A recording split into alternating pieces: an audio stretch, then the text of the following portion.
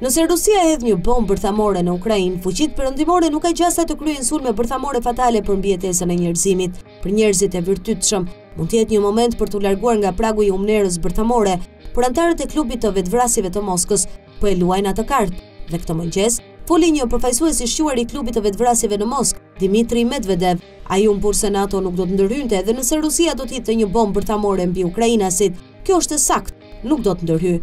Por përmbajtja e Perëndimit edhe në një rast të tillë vetëm thotë se në anën tjetër ka politikanë që e kanë ruajtur arsyen dhe nuk janë gati të gjykojnë njerëzimin pa u menduar.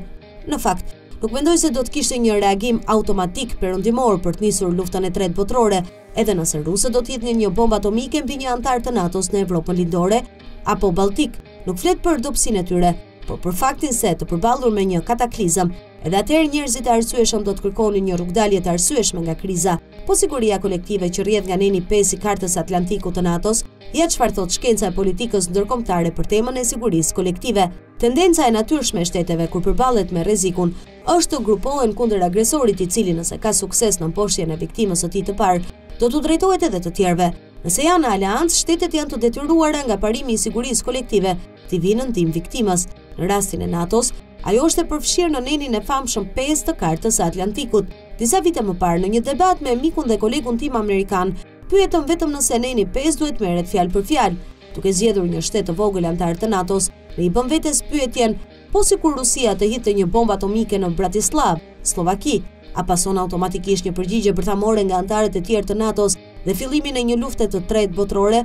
Ne arritëm në përfundimin se përvoja e njerëzimit me parimin e quajtur siguri kolektive tregon se një automatizëm i tillë nuk ekziston, edhe kur diçka shkruhet në letër. Gjegjësisht, realiteti tregon se nuk ka asnjë mbështetje boshe për viktimën e mundshme të agresionit. Politikani në krye të një vendi dëshiron të ketë gjithmonë duart e lira në vlerësimin pragmatik të karakterit të krizës dhe të di se si ajo përputhet me interesin kombëtar të vendit të tij.